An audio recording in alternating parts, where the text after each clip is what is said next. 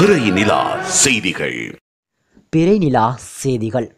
செய்தி ஆசிரியர் சஃப்ராஸ் அபுபக்கர். செய்தி வாசிப்பவர் உஸ்மான் நிஃப்ராஸ்.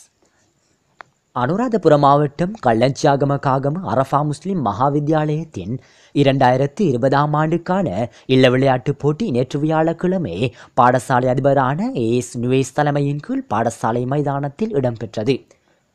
நிகழ்வுக்கு பிரதம அதிதியாக கெக்கிராவ கல்வி வலயத்தின் ஆசிரியர் ஆலோசகரான ஃபலீலே கஃபூர் அவர்களும் விசேட அதிதியாக கள்ளஞ்சியாகம் ஜும்மா பள்ளி வாயில் இமாமான ஹாலித் ரஹ்மானி அவர்களும் கௌரவ அதிதிகளாக காகம ஹெர்பிட்டியாகம கட்டியாவ் நேகம அழகு பெருமாகம பாடசாலைகளின் அதிபர்களும் கிராம உத்தியோகத்தர் வஜிர இளங்கசிரே அபிவிருத்தி உத்தியோகத்தர் எஸ் எச் எம் ரிஸ்லான் ஓய்வு பெற்ற அதிபர் எஸ் எம் தாஜுதீன் ஆகியோரும் கலந்து சிறப்பித்தனர்.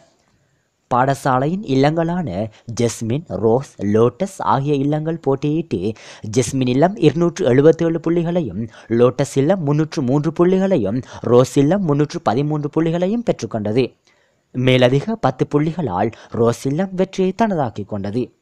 விளையாட்டுப் போட்டியில் பாடசாலை மாணவர்கள் ஆசிரியர்கள் பாடசாலை அபிவிருத்தி சங்கம் கலந்து கொண்டதோடு பாடசாலையின் பழைய மாணவர் சங்கம் பூரண ஒத்துழைப்பு வழங்கியமே குறிப்பிடத்தக்கது.